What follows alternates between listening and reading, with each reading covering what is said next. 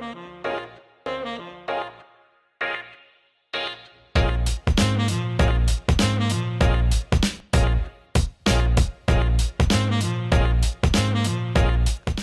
everyone.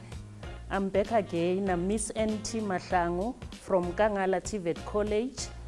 I'll be offering a lesson in mathematics level 4.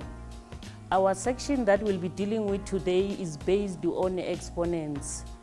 Remember previously I have introduced about eight exponential laws and I gave you only two examples and we didn't have enough time for me to can give you more sums. So today we proceed from there. We are going to do more sums on exponents. Let's quickly go to what's the board. The question is, simplify the following expressions by using exponential laws. And we are told again that we must also leave our answers with positive exponents. Let's take the first sum.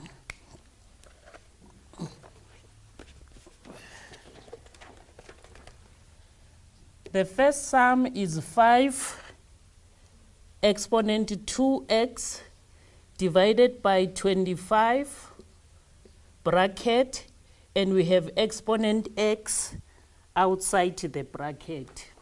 Here is our first, our first example for today.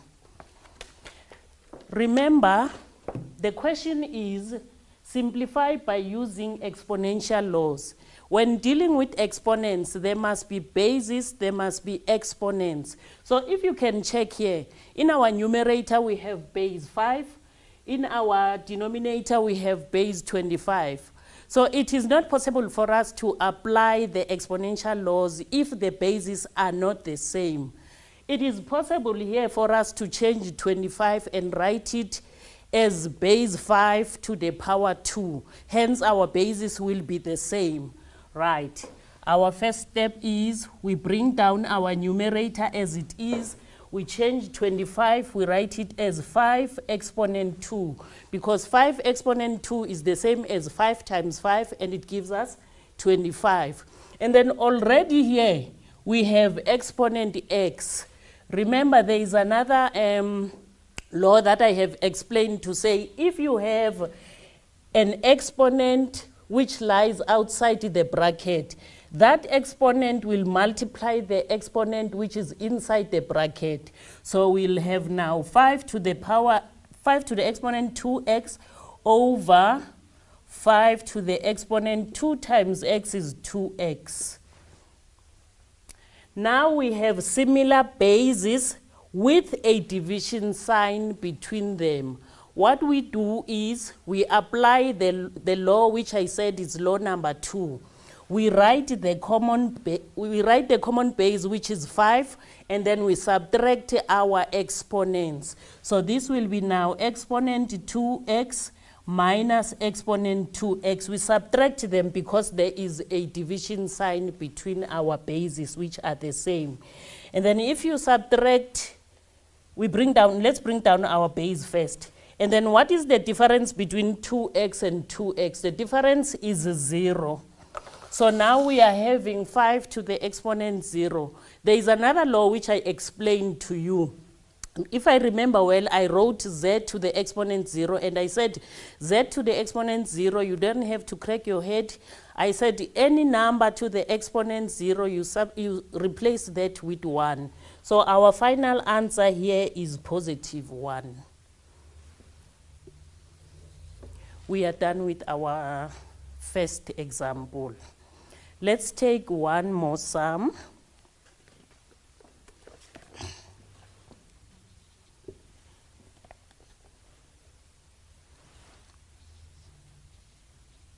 Nine to the power, nine to the exponent three x multiplied by 12 exponent 2x plus 2 over 4 exponent 2x plus 4 multiplied by 9 exponent 4x plus 1. So we are given 9 exponent 3x multiplied by 12 exponent 2x plus 2 over 4 exponent 2x plus 4 multiplied by 9 exponent 4x plus 1. The question is still the same. Simplify by using exponential laws and your final answer must have positive exponents. Right. If you can check here, remember I said when you have to apply the exponential laws, you check your basis. It will be easy for you to apply the exponential, uh, exponential laws if your bases are the same. Here we have base 9, base 9. These two, we can work them out together. And then we also have 4 and 12. But then 4 and 12 are not the same bases. Hence, I'm going to factorize 12. But again, when I factorize 12, I'm going to use x, uh, factors 3 and 4. How am I going to work with 3? Because I don't have 3 here. It means that I must also factorize this 2. So this will be now 3 exponent 2. 3 exponent 2 is 3 times 3, which gives us 9. So already here we have 3x. We write it here. This 3x will multiply the new exponent, which is 2, multiplied by 3 multiplied by 4. These two are the factors of 12. And both of them, I took them from this 12. Hence, they must have the same exponent, which is 2x plus 2 and 2x plus 2. Are you still with me? And then denominator, our denominator, we have 4 exponent 2x plus 4 multiplied by, I'm going to write that one also as 3 exponent 2, and then we already have exponent 4x plus 1. Let's proceed. Our, I don't have to write the equal sign. Our base, we have base 3. Our new exponent now, it's 2 multiplied by 3x. It gives us 6x multiplied by 3 exponent 2x plus 2 multiplied by 4 exponent 2x plus 2 all over 4 exponent 2x plus 4 multiplied by 3 let's open the bracket here. 2 multiplied by 4x it's 8x 2 multiplied by 1 it's positive 2 right if you can check now, we have base 3, base 3, and base 3 in our denominator. So these three, we are going to work them out together. And then we also have another base, which is 4 and 4 also. These ones, they will be combined together. Right. Now that we have similar bases, we can apply the exponential laws. I'm going to write the common base, the first common base, which is 3. 3 exponent 6x. Between this 3 and this 3, we have a multiplication sign. And if that is the case, remember I said if you have a multiplication sign between similar bases, you add your exponents. So we are going to have exponent 6x plus 2x plus 2. We don't change the signs. Plus 2x plus 2. We are not done with base 3. We still have another base 3 which is written in our denominator. This simply means that between these three, these two threes which are written in the numerator and this one, there is a division sign. So this one, when we write it or when we if we want these exponents to join those exponents, we are going to change the signs of these exponents because we are subtracting. The law says if there is a division sign between similar bases, this basis and this one, there's a division sign, we subtract. In other words, we change the signs. So this one becomes negative 8x, and then this one becomes negative 2 multiplied by we are done with base 3. Now we proceed to base 4. Multiplied by base 4, In our numerator, we have 2x plus 2. 2x plus 2, we write it as it is. And then between this base and this one, we have a division sign. So our bases, when we write them in the numerator there, these ones, our exponents, sorry, when we take them to the numerator, we change their sign, we subtract because of the division sign that lies between these two similar bases. So we are going to write these exponents as negative 2x and negative 4.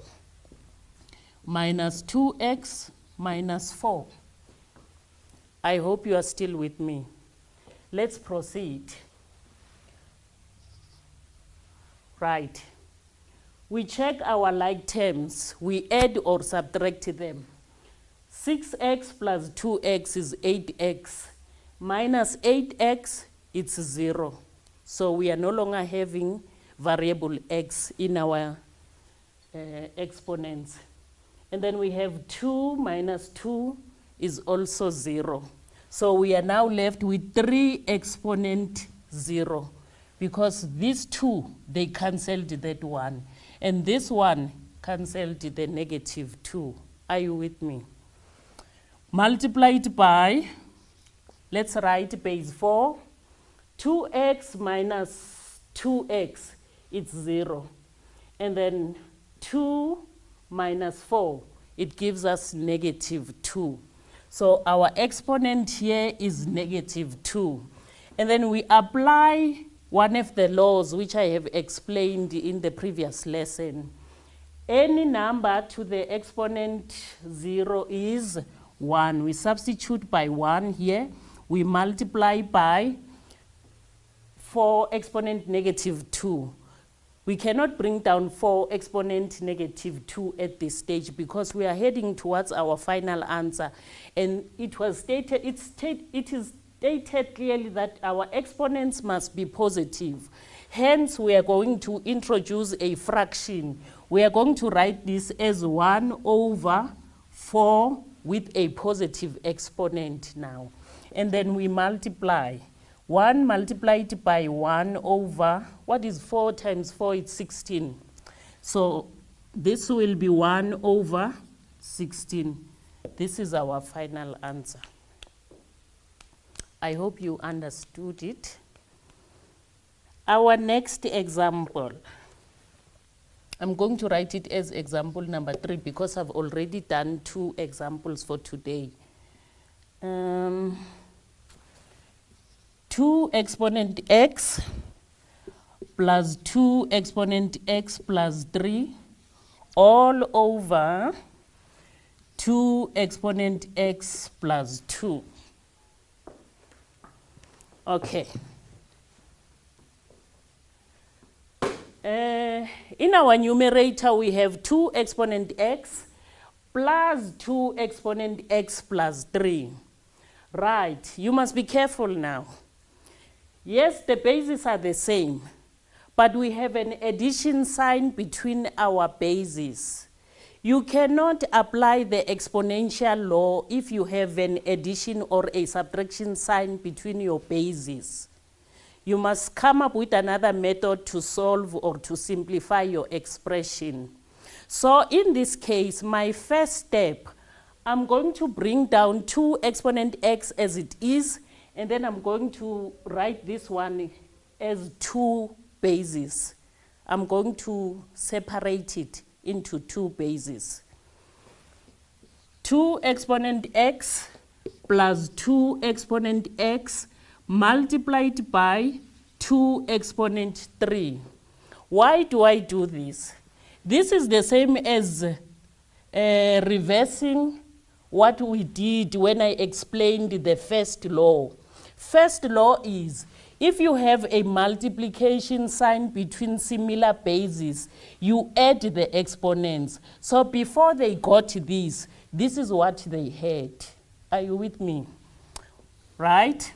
Our denominator, we are going to do the same thing. We write 2 exponent x multiplied by 2 exponent 2. That is our first step. And then from this stage, I check my numerator. 2 exponent x, before I go there, if you can check, your numerator has two terms. Remember, our terms in an expression are separated by an addition or a subtraction sign.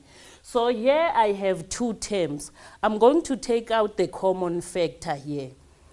2 exponent x is common because there's 2 exponent here in my first term and there's also 2 exponent x in my second term. So I take out 2 exponent x as my common factor and then I open the bracket, I divide throughout by my common factor and then I know what remains inside the bracket. 2 exponent x divided by my common factor, it's 1. 2 exponent x multiplied by 2 exponent 3 divided by 2 exponent x. I'll be left with 2 exponent 3. Positive 2 exponent 3 over 2 exponent x multiplied by 2 exponent 2. I hope you are still with me. Right. Between my common factor and the bracket, there is no addition or subtraction sign. Hence, I'm allowed to divide this 2 exponent x by this 2 exponent x. We are left with 1 here. Most of you, they like to say we cancel or they cancel each other. That is also allowed because there's no addition or subtraction sign here. Even here, there's no addition or subtraction sign. Right. Let's proceed to the next step.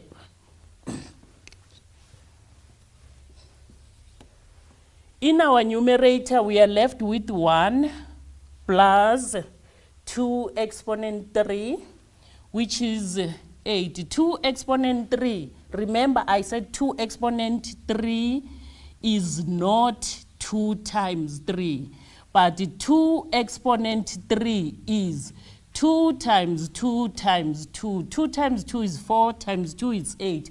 That is why we have 8 here over 2 exponent 2 is the same as 2 multiplied by 2. It gives us 4. 1 plus 8 is 9. Our denominator is 4. This is our final answer. We are done with the third example. I hope you are still watching. I will take one more example. Hopefully, I'll be able to explain other laws.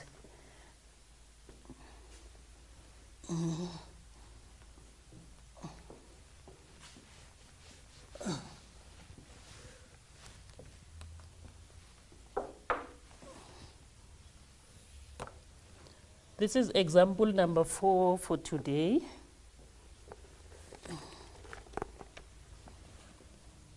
It's cube root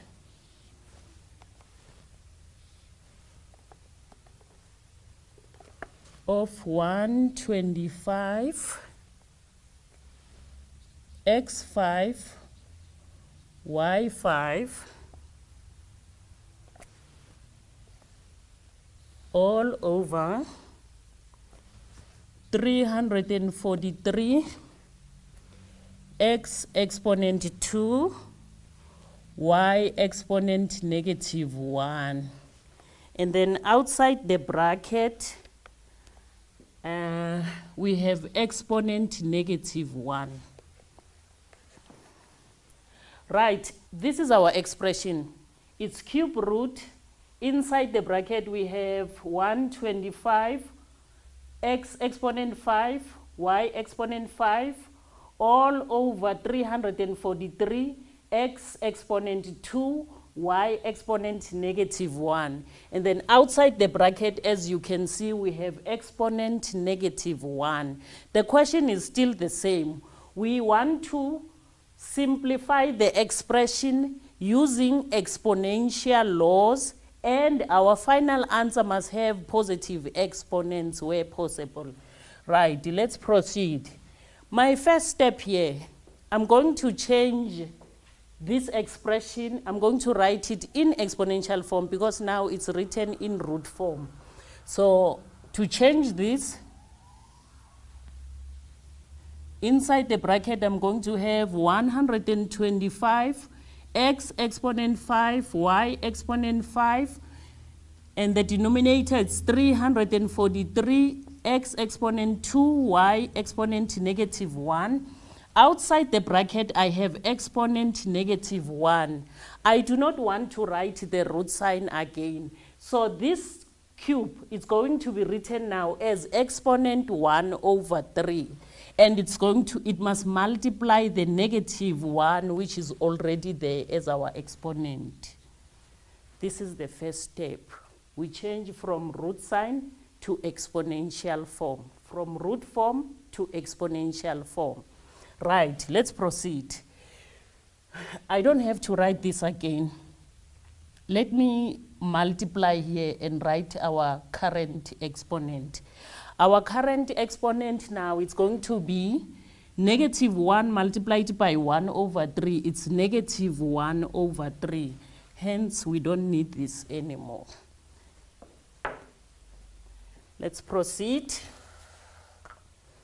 Uh, if you want to, there are two ways of opening this bracket. It's either you take this negative 3, you multiply the exponents which are already there.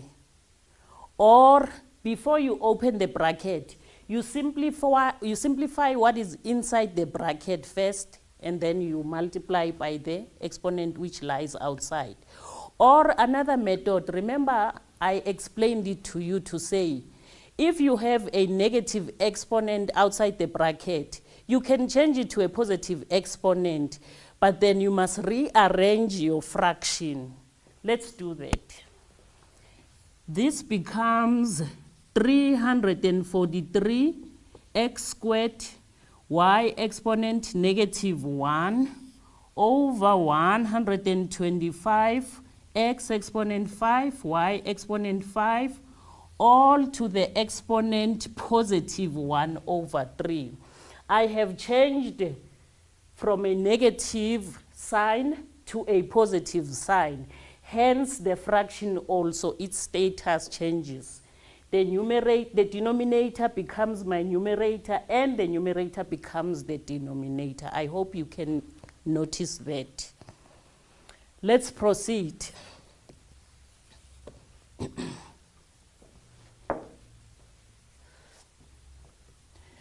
My next step from here, I'm going to change these two numbers and write them in exponential form, being guided by the denominator of the exponent that lies outside. The denominator of this uh, fraction, pardon me, the denominator of the fraction here is positive 3.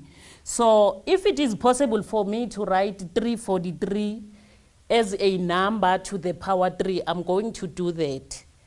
Luckily, we do have such a number. 7 to the exponent 3 is 343. So I'm changing this one. I'm writing it as 7 cubed x squared y exponent negative 1 over 125 also can be written as 5 exponent 3 and then x exponent 5, y exponent 5. And then outside the bracket, I still have exponent 1 over 3.